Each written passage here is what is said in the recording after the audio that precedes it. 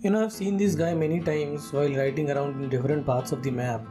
And every time when I saw him, I thought I'll shoot the chains and I'll let him go. But this time, I don't know, I thought maybe I could pack him up and deliver him to the sheriff. So I used the lasso and tied him up and then took him to Valentine.